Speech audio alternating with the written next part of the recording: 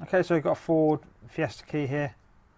Uh, the problem is we've got is that one of the buttons transmits, the lock button, but the unlock button, there's nothing coming out of it, and when you press it, it doesn't feel like anything is happening underneath.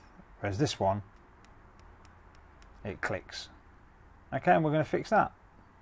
Okay, so we're going to open up the remote and see what's going on. So blade off, then pop this open like that, out of the way, and then under here are the buttons, and this needs to come out.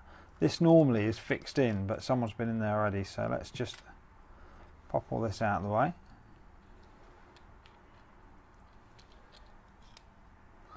Oh, okay, there you go. So what's happened is, as you can see, these are the two switches, and they should be here and here, and that's why um, you're not getting a signal out of the button. Okay, so we're going to solder these switches back on. First thing you want to do is just clean the pads up where it's going. Give yourself a chance. Okay, then we're going to use these trees. I normally do this with my fingers, but uh, bit of heat on, spin it around.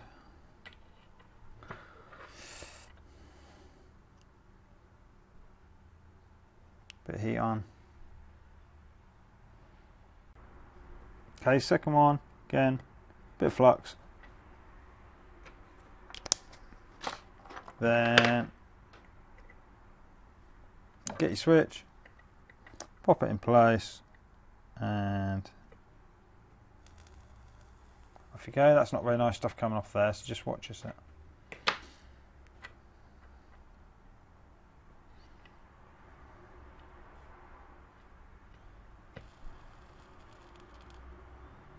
Okay, spin it around.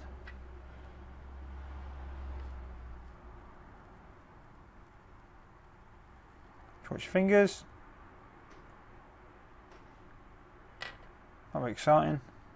Uh, there we go. Right, okay. So there's your switches back on. Okay, so the first thing to do is then is just pop this back on. That's just a protector, I think, the switches. Okay. Then you've got two switches there. So they obviously have to line up with where the two switches are. Easy peasy.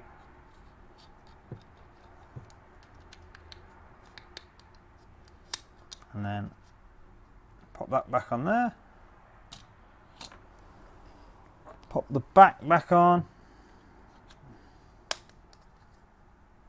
And then the moment of truth, does it work? Let's have a look. That one did work before. That one works now, and all three switches work. Okay, so then you just need to pop it all back together. If you if it doesn't work straight away, you need to program it back to work the central lock-in, and by turning it on and off four times. We've got a video on that on our channel. And so with a three button Ford key repair, you're good to go.